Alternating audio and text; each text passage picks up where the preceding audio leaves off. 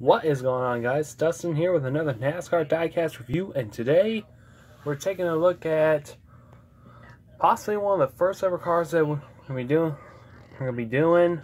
I'm sure it's not gonna be the last as well. So however, this is actually a special diecast review anyway. But this is actually still we're still gonna do the old traditional old diecast review. So this is the Chase Elliott All-Star Race Win, but this is actually no regular race win as, you know, what you expect. Actually, if you actually do happen to have this one without this feature, it's still going to be the same one either way. So today we are taking a look at the Chase Elliott 2020 All-Star Race at Bristol Race Win. And this is the race win, win as it appears.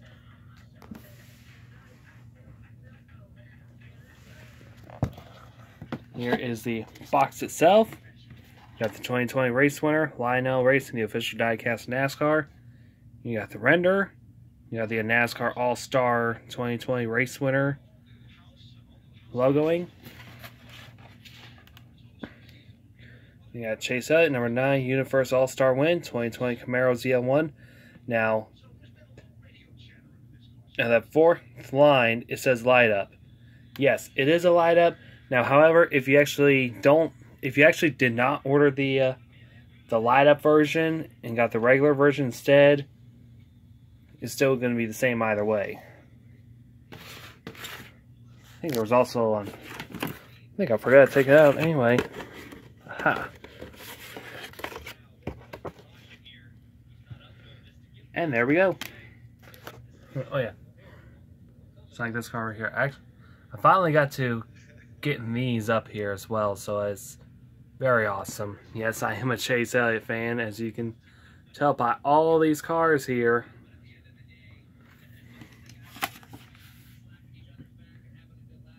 Here's a race winner card. We got Chase Elliott, NASCAR All-Star Race Winner from Bristol, Tennessee on July 15th of 2020. Time the race took an hour and 8 minutes and 10 seconds. That's actually real quick. Started 13th with a total laps of 140. Five cautions for 13 laps, which are basically all stage, in, stage innings. There was actually a spin there as well, caused by Kurt Busch. Chase only led 16 to win and held off charging Kyle Busch. Oops. Elliott races to All-Star title at Bristol. On a historic night at Bristol Motor Speedway, Chase Elliott drove away with his first ever All Star race win, and the $1 million prize.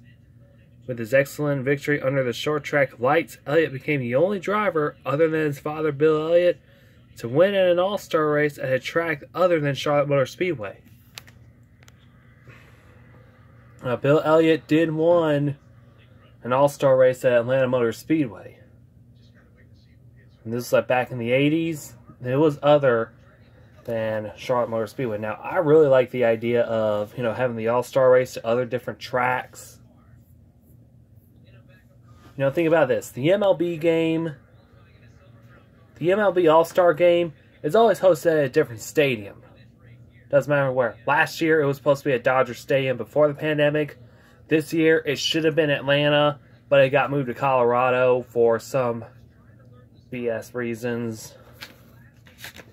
MLB, what is up with you? The Elliotts are now the only father-son combination besides the Earnhardts to have won, to have won the Sports All-Star Exhibition. Dale Earnhardt won the All-Star Race, and his Dale and his son Dale Jr. did in 2000. So, now talk. Let's get to the review. Now, here is the car itself, as the way it appears after the checker flag was thrown, you can actually see already off the bat we have a little piece of the uh, fender back here ripped off. I guess it was before it was from this uh, burned out tire right here. Now you actually may notice that the numbers are actually now slanted back because NASCAR wants to try to uh, move the numbers back for more sponsorship opportunities now to me, you could do that for the All Star race, but guess what? Other than that, I really don't like that kind of idea. You know, just leave the numbers on the door. wouldn't be a problem. So here's the car itself. We got Unifirst, which is actually ironically the first ever time we ever have a Unifirst car. Uniform, Services, and Solutions. We actually did got some track kick-up, specs, dirt, debris, etc. And got the NASCAR Cup Series banner, the windshield. Got number 9 with the UniFirst. And we got Chase Elliott's na name, the uh, state flag of Georgia, and also the uh, race winner sticker he got. Now, the only way to get into the All-Star race is either win a race prior, before the All-Star race, or afterwards, whatever comes first, or already have won the All-Star race, which Chase Elliott did, or win a championship, like what Chase Elliott did.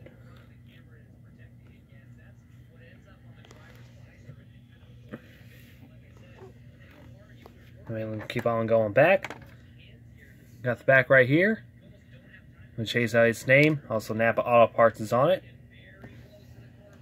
And on the back, we got UniFirst. Sorry if it's a little bit dark.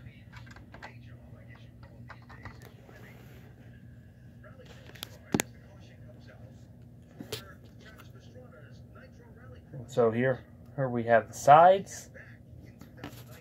Actually, it's going to be one side. And you can see a lot of brake dust accumulated up on the wheels. We got 3M, we got Sunoco. Also got NASCAR Cup Series right here. NASCAR Salutes. We got the big UniFirst sponsor.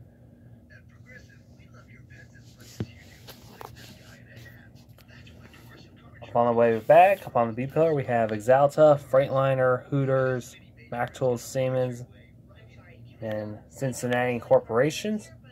We also have Kelley Blue Book up here, Valvoline Motor Oil, Napa Auto Parts, Hooters Mountain Dew. Now, Mountain Dew is actually a little bit obscured by this uh, tire mark right here, which I guess a, a piece of a uh, tire whipped around. Possibly did that.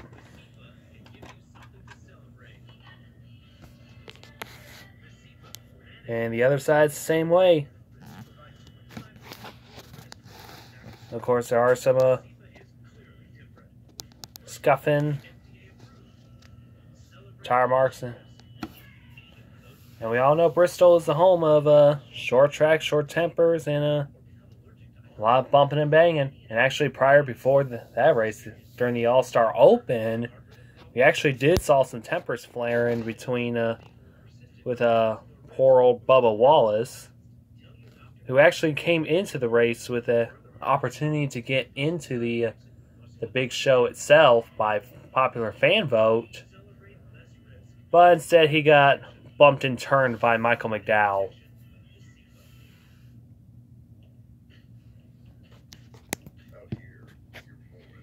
Right, so let's take a look at underneath. Here we have the, uh, the front, front end. We got a radiator up there. We also got the car wheels do turn. We also got the molded chassis, the transmission, the engine are all in one piece. The drive shaft, rear differential, the exhaust. Now you may notice the back here is a little bit different, which is usually the fuel tank, but I'm going to go over that next.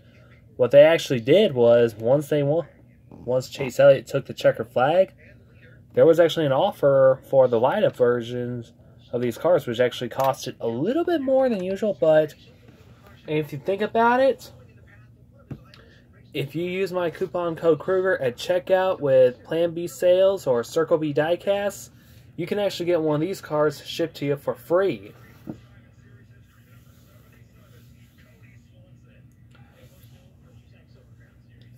Now, each of these underglow, underglow lights have different colors, but the three ones that they did were a manufacturer car, manufacturing logos.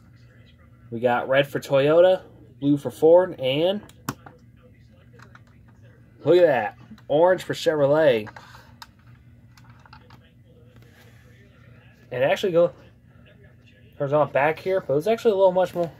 Light is actually a little more back here rather than, a little bit of excess right here. Now, if I actually do turn off the light up here, let's see what it looks like with the light I'll turn off. It actually does not look that bad. It kind of looks like the car is on fire from underneath. But I'm sure that the uh, the Toyota ones and the uh, Ford ones are actually not that bad too. It's just a little bit of a different underglow. Now let's see what the uh, main light off would look like. Yeah, it looks like it's on fire. Other than that, it looks cool.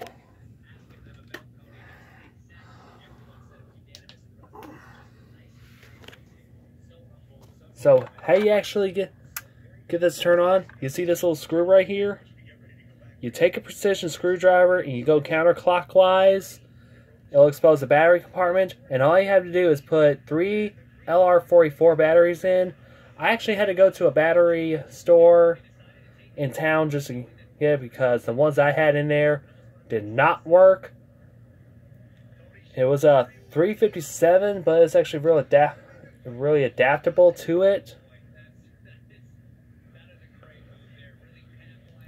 You know, if you really need need batteries, I will link that down in the description below. It is from a Batteries Plus, who did actually did a great job with me uh, help helping me out getting them. So if you walk into a Batteries Plus store, you know, say, hey, I need a three LR44 battery batteries for or something like this, they'll help you out on it. Oh, I also forgot to mention a short spoiler too on this thing.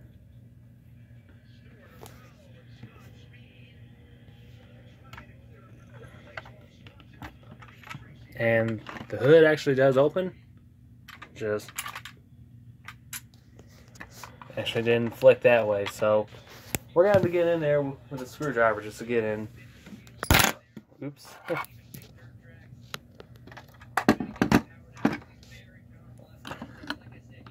Really don't like it when the hood does not open the first time. Sometimes you gotta get in there with a precision screwdriver just to open it up. Now, this car does roll a little bit awkwardly. That's because of the uh, the left rear tire that actually got shredded when Chase did his burnout. Let me take this a light down real quick so that way y'all can see the inside of the engine. Oops.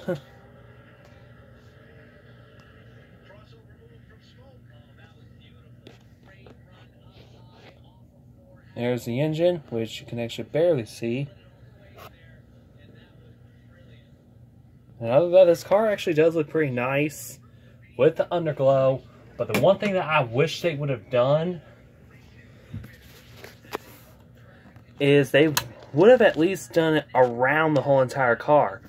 Now, if you actually remember watching a video with uh, Kurt Busch doing a burnout with the underglow, it actually looks real nice. You know, underglow, he had the green. Basically, he was in a Monster Energy car, the number one Camaro.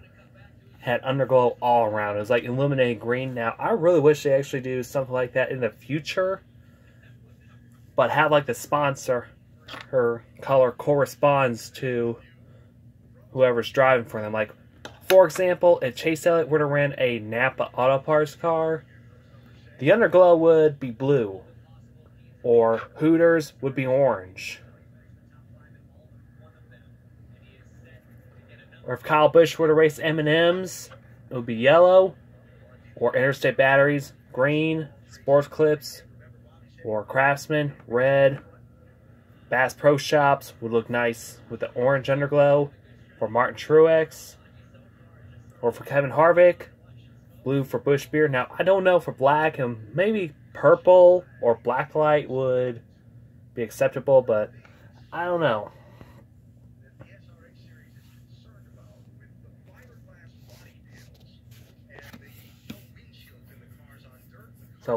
Overall, I like this race win review. It does look nice. The underglow adds a really nice touch to it. You can actually do see it, see it much clearly. It is actually orange because it's uh, you know orange corresponds to Chevrolet. Now, do they sell these at the uh, souvenir haulers? When I was at Atlanta Motor Speedway first time, they didn't sell them because around that time, they didn't get out fast enough. Hopefully, at the tracks where you're at, these are already out.